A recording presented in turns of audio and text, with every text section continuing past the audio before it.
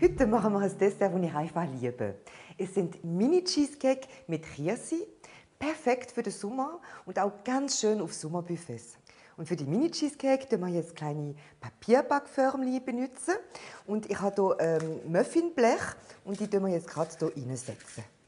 Wenn Sie kein Muffinblech haben, dann können Sie es auch in einer großen Kuchenform machen. Und jetzt kommt der beste Teil, die Bödelis von den Mini-Muffins. Dazu braucht man Petit Beurre in einer Tiefkühltüte und mit dem Walholz jetzt fein zerbröckeln. Biskuit wir jetzt mit dem Butter mischen und Butter ist abgekühlt und natürlich flüssig.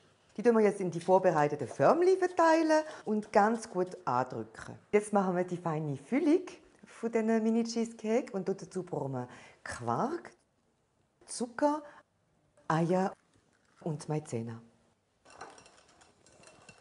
Jetzt tun wir die Masse in die Förmchen verteilen. So, und jetzt ab in den Ofen für 15 Minuten bei 180 Grad und natürlich ist der Ofen vorgeheizt.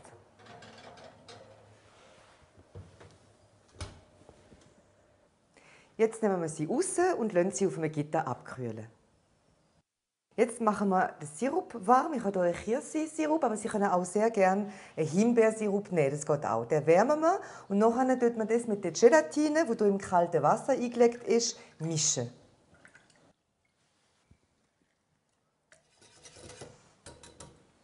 Sobald die Gelatine im Sirup aufgelöst ist, gießen wir sie durch ein Sieb.